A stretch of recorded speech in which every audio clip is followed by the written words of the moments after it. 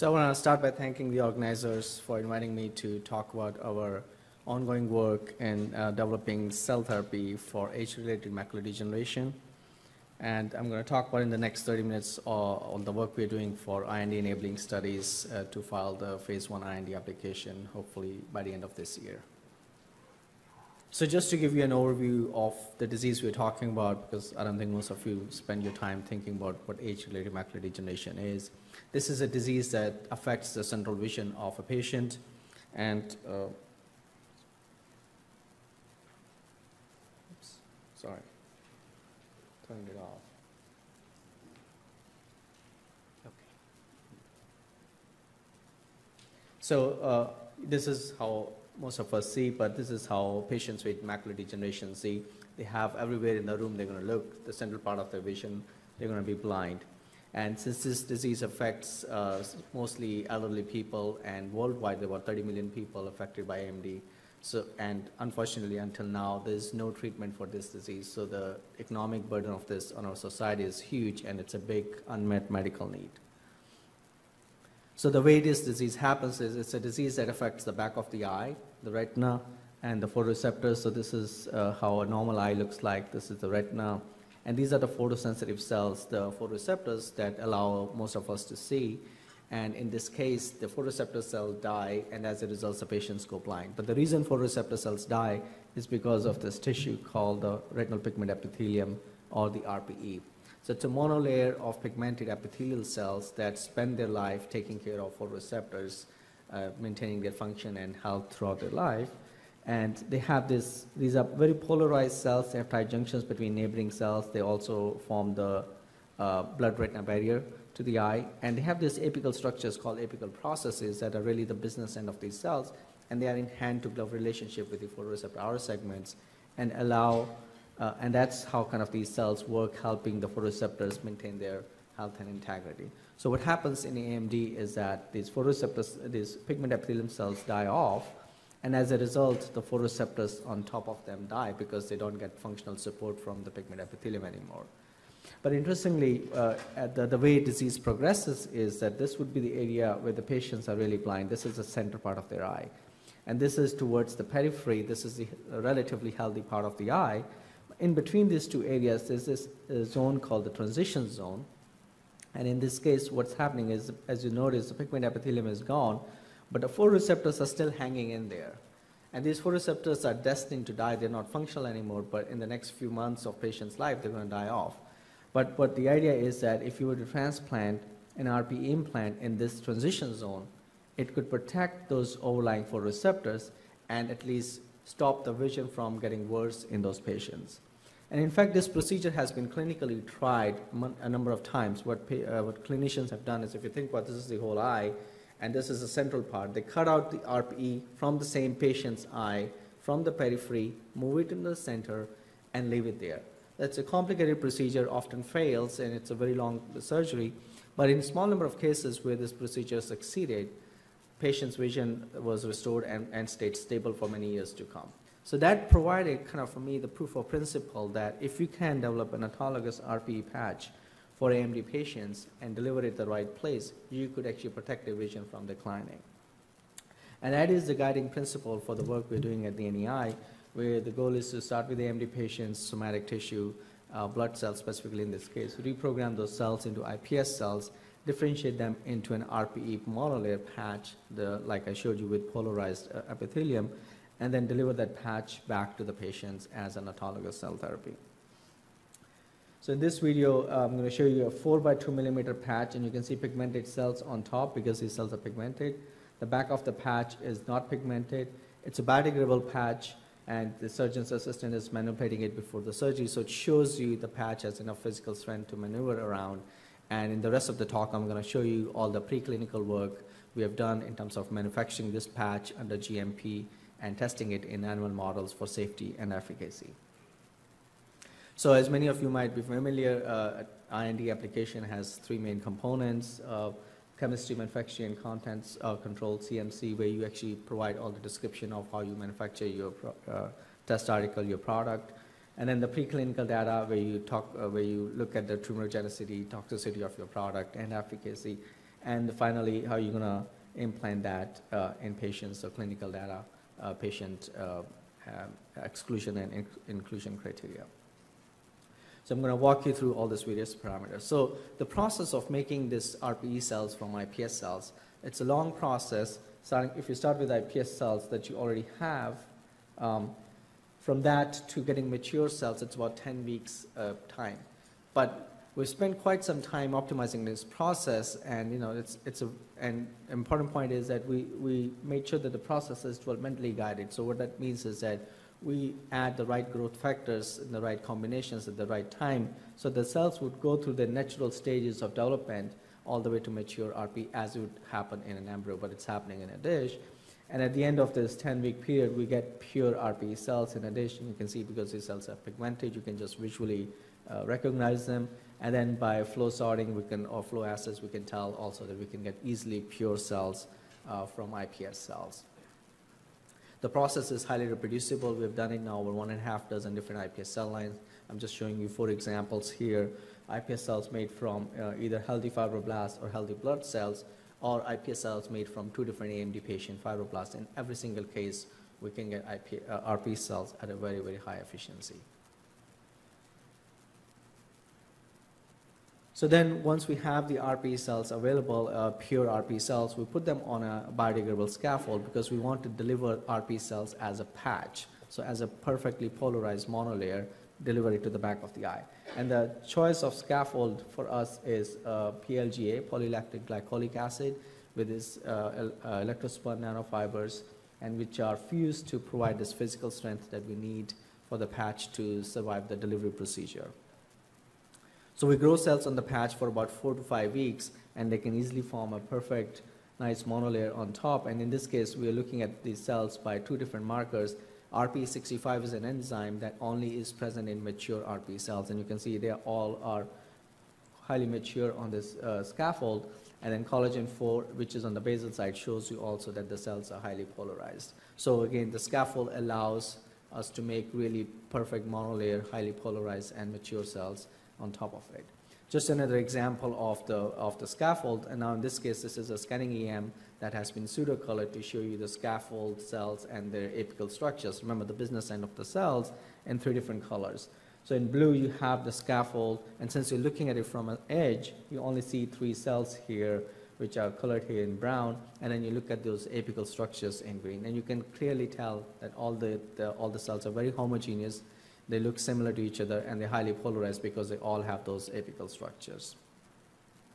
So the scaffold, of course, also maintains the uh, purity of the cells. If you look at a number of different markers, in this case, two different purity markers and, and cells made from two different donors, we can get almost 100% pure cells. And if you look at the maturity markers, again, two different markers, we get cells that are very, very mature, more than 80, 90% maturity in the entire monolayer of the cells. So now the problem is that when you're developing an autologous cell therapy, um, the cells are going to be different. you know, you make cells from person A and person B, you're going to get different results. So how do you qualify that the cells that you made from person A and B and C, they all are really RPE cells? You know, do you have to have a parameter, a range of assays within which your cells can be qualified as RPE cells?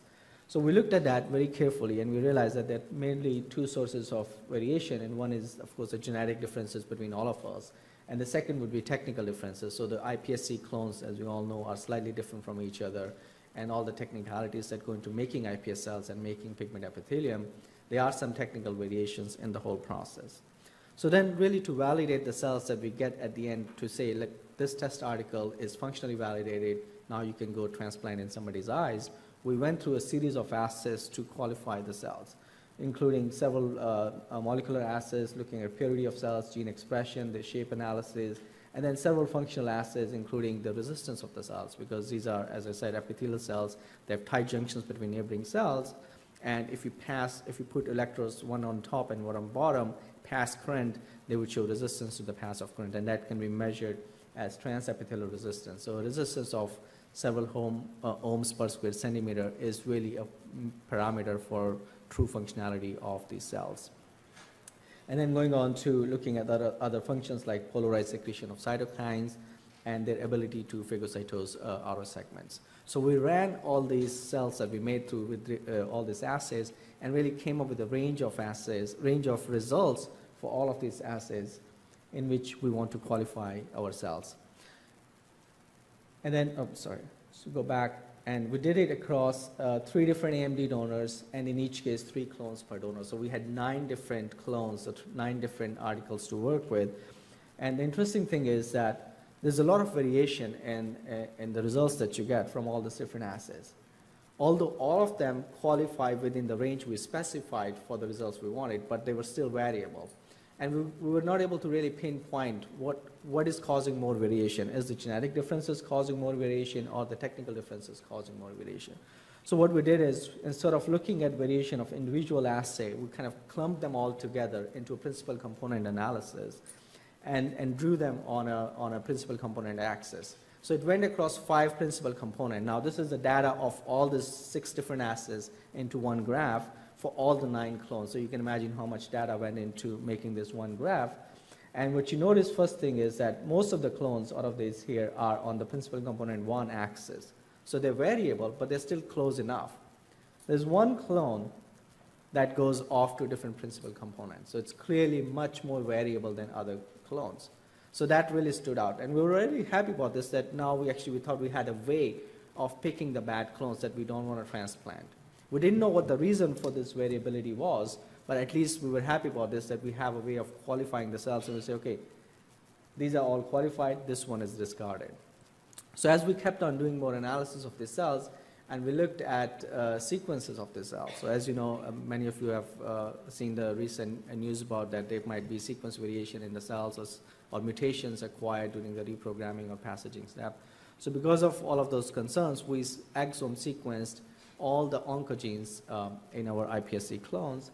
And the, this chart shows you is how similar they are to the, to the parent clone. So what it means is, so if you look at donor 4 here, there are three clones, and then there's PBMC, which is the primary material from the patient itself. And the way to read it is the lighter the blue color is, the more similar they are to each other. The more darker the color is, the further away they are, they are to each other. So of course, donor 4C would be identical to itself because it's the same sequence, but also it's identical to the other clones and to its primary material. So donor 4 had no mutations, no changes, none of the clones, all the clones were identical. Donor 3 had the same thing, all the clones were identical to itself and to the patient's primary material. Whereas donor 2, remember the clone B, which was outside in our PC analysis, the same clone does not match either with other clones or with the primary material of its patient.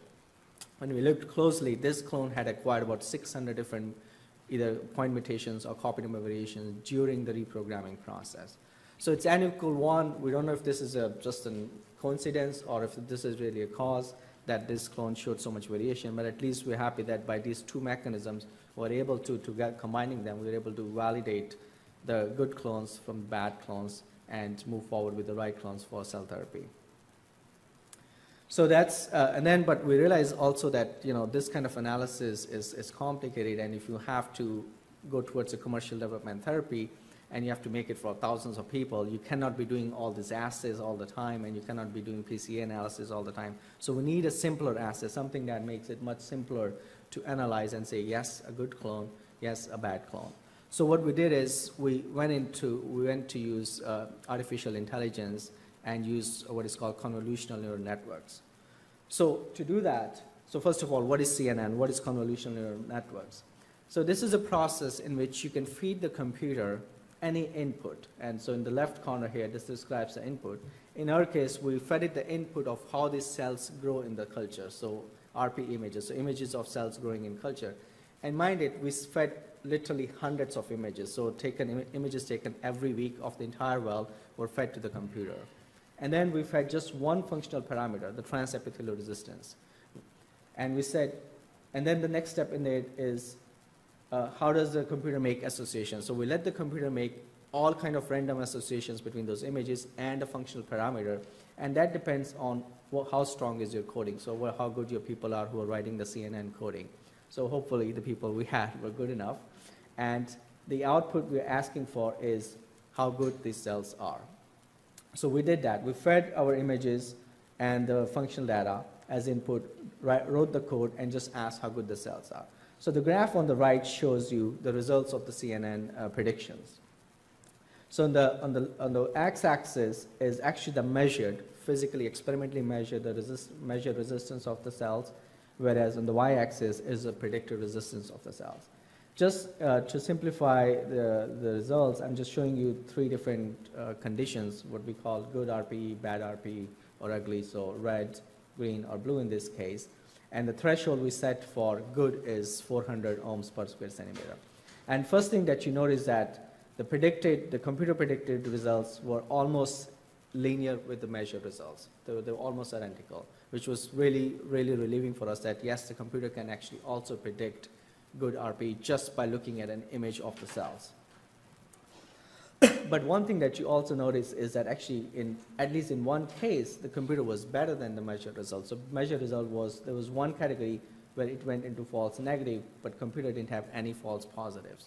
So we think this is still at the early phases of CNN. Right now, we have fed the data from just one donor. We are now in the process of, of feeding this data about 12, across 12 different donors. And we hope that by doing that, we'll have such a robust network of uh, neural network that by looking at uh, RP images, computer will be able to tell us how good our cells are, and that would make the whole process of manufacturing much simpler to be able to identify the right uh, test article for transplantation. so now the whole process, we took the manufacturing process and optimized into, into a GMP setting, and this whole, this just one slide took almost two years, uh, really mapping out every day of the manufacturing from day zero all the way to uh, five and a half months that it takes for the GMP manufacturing of these cells, starting with the blood draw, isolating of uh, CD34 positive cells, reprogramming them to iPS cells, making a working bank of iPS cells, which gets validated for sterility, karyotyping, plasmid loss, uh, identity to the donor, and the exome sequencing for the oncogenes.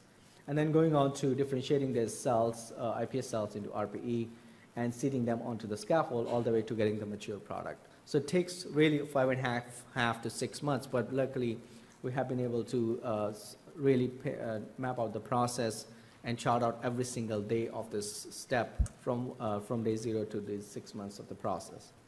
And also, we have been able to put aside uh, intermediate step where we can actually cryopreserve the tissue so that if the process fails, you can go back to one of these intermediate steps and start from that rather than going back to the patient. So with that uh, data on CMC, I want to move on to show you some of the uh, preclinical data in animal models. So in the first example, I'll show you some of the toxicity and biodistribution studies we have been doing in, in rat model. So one concern you have, everybody has when you're working with pluripotent stem cells is that what if there are some pluripotent stem cells left in your final product? Are they going to lead to a tumor or a teratoma formation or a, a different lineage formation? How do you prove that? So we did that multiple ways. One way is that we did what we call in vitro spiking studies. So what we did is you, we, we seed the cells on a scaffold for maturity, as I showed you. Before we seed these RPE cells on the scaffold, we mixed them with various concentration of, of iPS cells.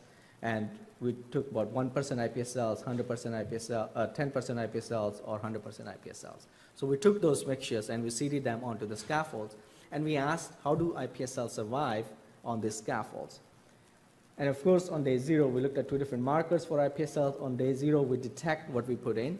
But very quickly, within about two to seven days, iPS cells actually die off. And by in about two weeks, we don't detect any single iPS cells onto the scaffolds. And that's not a surprise because the scaffold conditions and the culture medium that we use for maturation of RP is not conducive for iPS cell growth. So that's the argument that we use that in our final product, there is no way that any iPS cell can survive. And then even if they did, so we are still doing animal studies to prove that these cells, when injected into immunocompromised animals, do not lead to any tumor or teratoma formation. And as an example, as a positive control, if you inject pure iPS cells in immunocompromised rats, you get this massive teratomas uh, in the back of the eye, so huge that it can actually push the lens out and you can see, identify all the different germ layers. But if we inject RPE cells, and in this case for tumorigenicity study, because our human dose is about 100,000 cells, we injected the entire 100,000 human dose in these rats, And you can see most of the cells just sit in the subretinal space. They don't do anything, they, they don't proliferate, and they don't really integrate into the back of the eye. Every once in a while, we see a couple of cells that have integrated into the rat uh, RPE. We don't know how that happens, but we notice that every once in a while.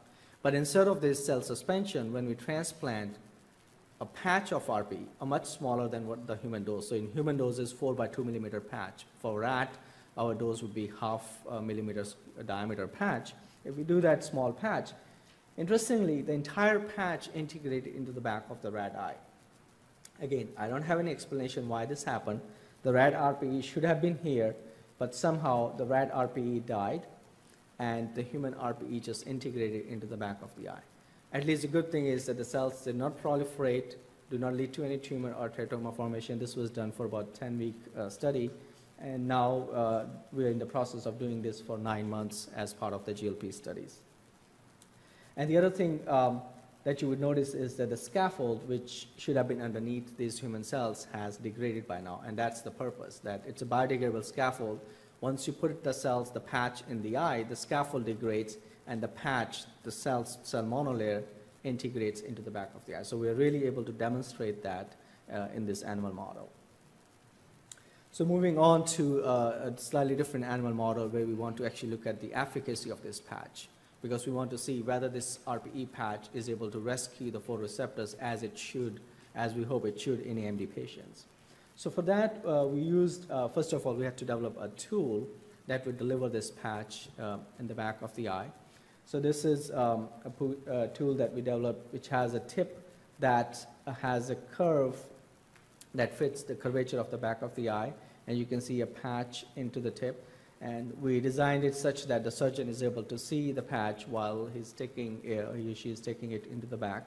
And then the way it is, is the whole uh, tool is controlled by hydraulics through an instrument, and the surgeon can regulate the movement of the patch just by a foot pedal. So only the surgeon itself can able, is able to uh, deliver it, doesn't need a surgeon's assistant in this case.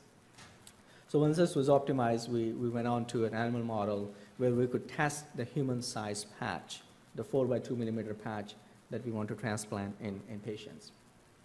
So the, the animal uh, model of choice were, for us was pig, and the reason is that the pig eye size and eye anatomy is very similar to human eye size and eye anatomy, so we thought we could not only test the entire patch, we could test the tool, and we could, we could optimize the surgical procedure that how we want to deliver it in patients. So I'm gonna, so this movie shows you, uh, the eye has been prepped, the movie shows the surgeon has the, the implant going in, and here, can, can we play the movie again, please?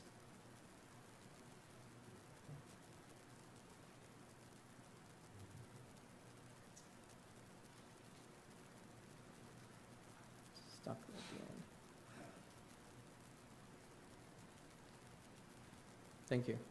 So as you can see, the eye has already been prepped. The surgeon is making the incision bigger so you can put the tool uh, inside. And here's the retina that has been lifted. This is a cut in the retina. This is the tip of the tool. This is a patch, and it's just aligning the patch, the tip to the, to the cut, and then delivers the patch uh, under the retina. So the advantage of working in the eye is that you can visualize, non-invasively visualize uh, this kind of surgical procedure that you're doing. We don't need uh, much of the radio label in this case, fortunately.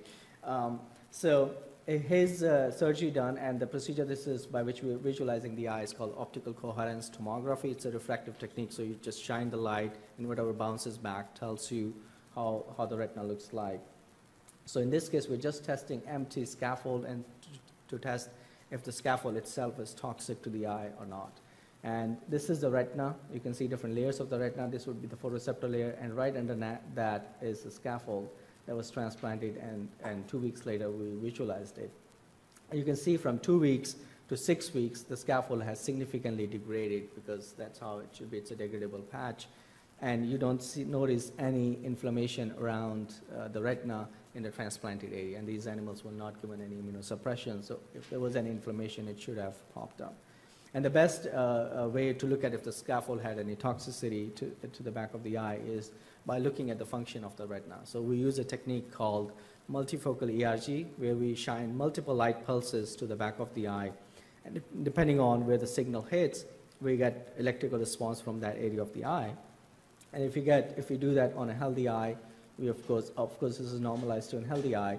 If you do that on an eye that was implanted, two weeks after the implant, we see a drop in signal because the ret- excuse me, the retina is still healing. But by the time the scaffold starts to degrade, the electrical response of the retina, the electrical signal from the retina starts to come back, suggesting that the retina is healing and the implant did not cause any long-term toxicity to the back of the eye. so then to test the efficacy of the product, we use a model uh, for multifocal, uh, we, we, use a model where we laser ablate the RPE. So remember I told you that in AMD patients, it's the RPE that dies off. So in pigs, we don't have a genetic model for AMD. So what we do is we'll use a micropulse laser that kills RPE cells, and as a result, photoreceptors will die. But before the photoreceptors die, we put the implant and ask if our human implant is able to rescue the pig photoreceptors. So this is how it looks like in the pig eye. With infrared imaging, we can see the window defect we created. We laser kill the RP cells so the light now goes through. And, and by histology, we can see that the RP cells clump up. And as a result, the photoreceptors are dying. But the idea would be to put the implant here and rescue these photoreceptors from dying. So we do that, and now we can see the implant here. This is now the implant containing the cells, and actually you can see the shine layer, shiny layer of cells on top of the implant by OCT. And now if you look at the multifocal signal, so again, this, this technique allows us to look at the different areas of the eye as uh, differently. For instance, if we just look at the healthy area of the eye that got the implant, we get this robust response. If we look at the area of the eye that, got, uh, that was lasered but no implant was delivered, we don't get any response. But we look at the area where we laser injure the eye but deliver the human implant, we get a response that is in between, suggesting that these human cells are able to rescue the pig uh, retina. By histology, we can see that the cells have integrated. So in, in red here is a signal that uh, also looks for pig RPE and human RPE, but in green is a stain that only looks for the human RPE. And you can see the human RPE really uh, in, in, fact, nicely starts making contacts with the pig RP and nicely integrates into the back of the, of the pig eye. So that's where we are uh, with this experiment, uh, with this project. Uh, we are almost in the, towards the end of our GLP studies for, for safety and efficacy. And hopefully we'll be writing our IND soon to be submitted by the end of this year. With that, I want to thank the entire team. You can imagine a project of this magnitude is not possible to be done by a handful of people. We had to uh, use expertise from people with uh, developmental biology, stem cell biology experience, bioengineering, uh, animal specialists, and, and surgeons, and, and I'm really thankful that I had the opportunity to work with a wonderful team. Happy to take questions.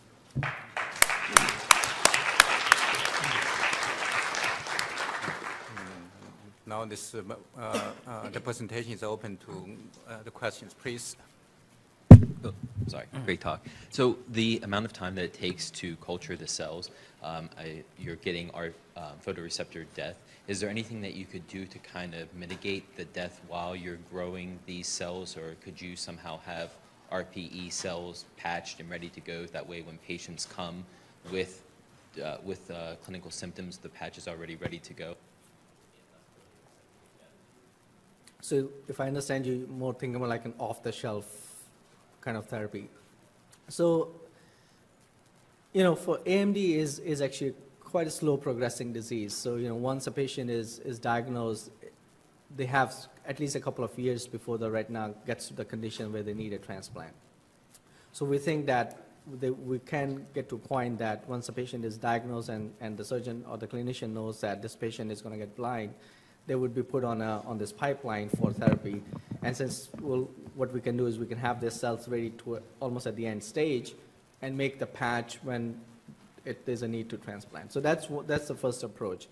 But then there are uh, groups that are working on actually developing, as you heard from, uh, from the first speaker, the universal donor iPS cell lines and HLA homozygous iPS cell lines. So where you can have banks of iPS cell lines pre-made and ready. So then what, when the patient comes in, you screen them and say, oh yeah, this patient matches this bank.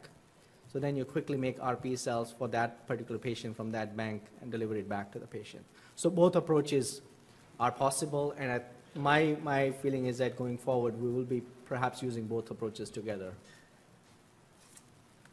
Yes. Very nice talk as usual. So two questions. So do you do um, a quality control test after make a patch of RP? The second question is how long does it take to um, biodegrade uh, degrade, uh, scaffold in the in the subretinal space? So in the subretinal space, it takes about um, eight, eight to 10 weeks to completely degrade, but in, in about six weeks after transplantation, we see there's only a couple of micrometer of the scaffold left. But if you say like there's no trace of PLG, excuse me, PLG left, that takes about eight to 10 weeks. Now, the first question, uh, I showed you those six assays that we run.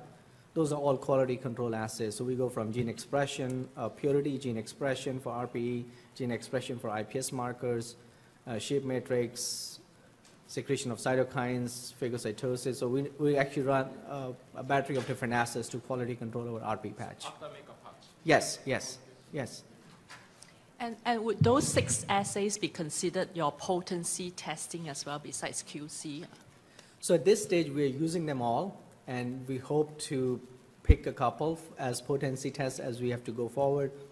And perhaps, you know, if the, if the CNNs work, the neural networks work, perhaps that could become a potency assay as, as a much more robust readout of, uh, of the quality of cells. Okay. And for the tox pharm testing, in, because I think it's kind of really important data to, to kind of understand what is ne- needed in your tox pharm package. So growing the human cells on the patch and doing it in rat and a pig model with immune suppression, same regimen as you would do in the humans, is, is that what is required by the FDA? No, so the pig data is, is not for tox. Pig study is mostly for efficacy.